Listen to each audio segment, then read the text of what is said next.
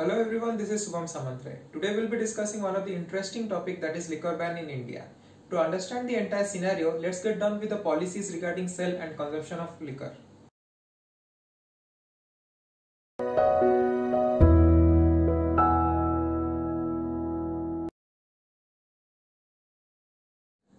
Before starting, we must know India is one of the greatest producers of liquor around the world and adds to 65% of manufacturing and about 7% of imports into the territory. So starting off with the basic policies relating to sale and consumption of liquor. License is needed to sell the alcohol and in some particular states so are the consumers. Usually liquor stores, pubs, clubs, discos, bars, hotels, restaurants are licensed to sell alcohol. In addition to this, beaches and houseboats may have the license to sell alcohol to tourists. The sellers are required to hold a license to sell alcohol, otherwise the selling of alcohol is illegal and prohibited. The permitted age for drinking alcohol varies from state to state. This difference in consumption of alcohol creates confusion, results in difficulty in implementation of the law of consumption age of alcohol. Now turning towards our topic, the subject liquor is included in the state list under the 7th schedule of the Constitution of India.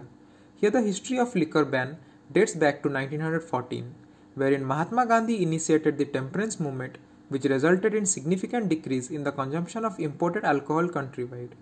It was the national event which influenced the Constituent Assembly to include the directive principle of state policy within the constitution embracing the obligation upon state to promote, secure and protect the welfare of the members of the society and further increase the level of nutrition and standard of living of its people. But as we all know, DPSP are mere guidelines for the state and are not enforceable in court of law. From the obligation enlisted in the DPSPs, the state government are authorized to enforce laws relating to the same. Therefore, the state government can by constitution enforce a liquor ban.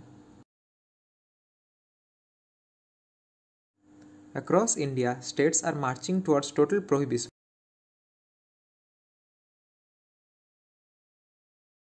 The first state to enforce a complete liquor ban was Gujarat.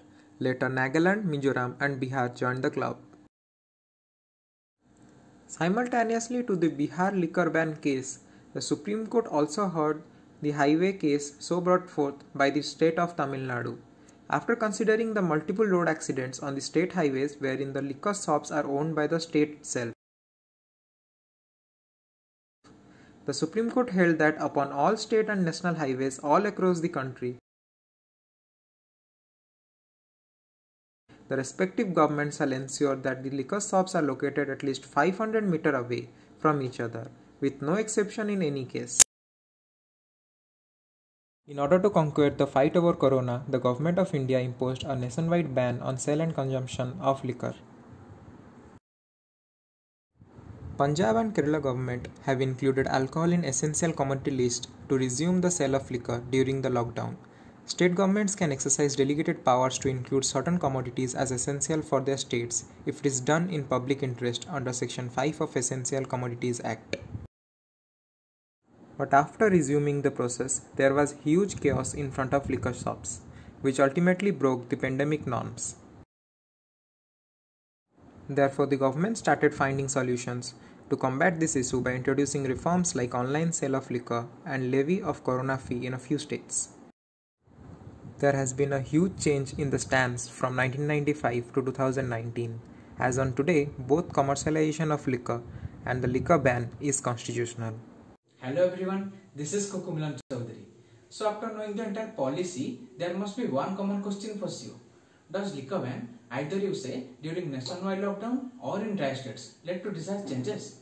Let's discuss some factors where alcohol ban is tough and challenging call for the government. We will be discussing four factors. The first and the most prevalent factor is smuggling of liquor in India. Smuggling is quite evident in the dry states.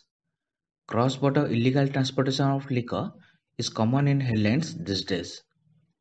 It is a matter of concern for the people of those particular states who are buying the same thing in high price and the same fund is used in other illegal purposes.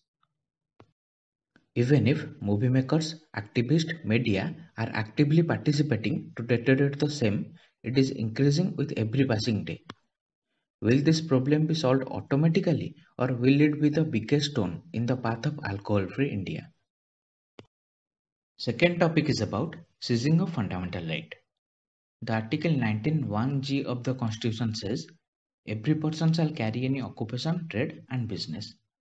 But Supreme Court is seizing their fundamental right by banning alcohol. This is a huge loss of income and source of livelihood to people. In the leading case, R. Rajagopal versus State of Tamil Nadu, Supreme Court observed the right to privacy is implicit in the right to life and liberty guaranteed to the citizen of this country by Article 21. It is a right to be let alone. If banning alcohol is a matter of health, then junk food shall also be banned. Third factor is about effects on tourism. Prohibiting the consumption of alcohol had a very obstructive effect on tourism. The Federation of Association in Indian Tourism and Hospitality said that establishment approved in the tourism category primarily exist for conferences, lodges and dining out experience. None of these promote liquor consumption outside their premises. Almost 9 million tourists visit India every year along with almost 1.8 million domestic visitations. This will be put to risk if the overall food and beverage experience are compromised. The last one is about impact on economy. The sale of liquor contributes the huge amount in states directly through tax. For nearly all state governments, liquor revenues are a cash cow. As many as 21 states, including several large states, derived more than 15% of their own tax revenues from the sale of liquor.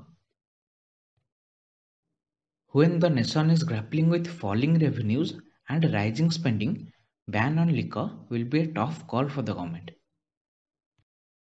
While per capita consumption of alcohol in India is among the lowest in the world, hazardous drinking Binging and solitary consumption to the point of intoxication has become a hallmark and is practiced by more than half of Indian drinkers.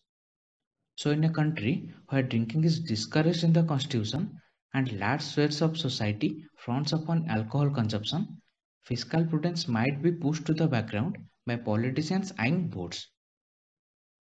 Thank you each and everyone for sparing time. We hope you like the video.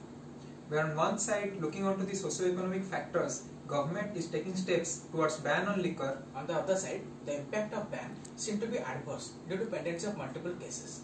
Let us know in the comment section, ban on liquor or responsible drinking, which one will be the right step. Cheers.